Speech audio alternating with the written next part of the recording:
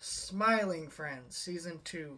Um, I really enjoyed season one, and now that it is going to be on Max, uh, every other, not every other, every Monday, I'm uh, going to be talking about the episodes as they release on Max. Now, um, I'm going to be re- reviewing episodes one through two. I know the Gwimbly episode technically released on April Fools, but I don't have cable, so I wasn't able to watch that episode. So I only got to watch it now, so this is my first time watching it and reviewing the episode.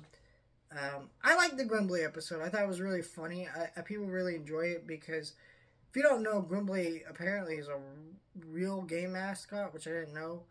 That they just took randomly out of obscurity, brought back for this episode just to be funny and goofy with it. It's it's kind of bizarre, but also kind of awesome, and yeah.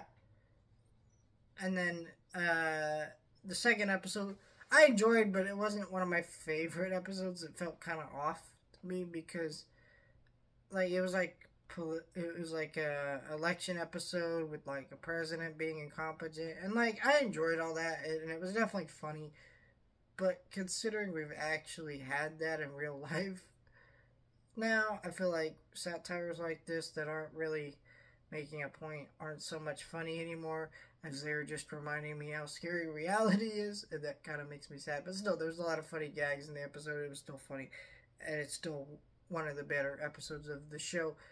And I'm glad this show's back because the show is continuing to do incredibly unique things, has a lot of great humor and weird animation, and it's and uh, is an awesome show. So if you've not watched Smiling Friends yet, uh, I think there's only like 10 episodes or less on uh, Max. And uh, the first two episodes of season two are on uh, Max. So that's like only like 12 episodes and like 11 minutes each. So pretty easy to watch. Get into. It's awesome. Definitely watch it.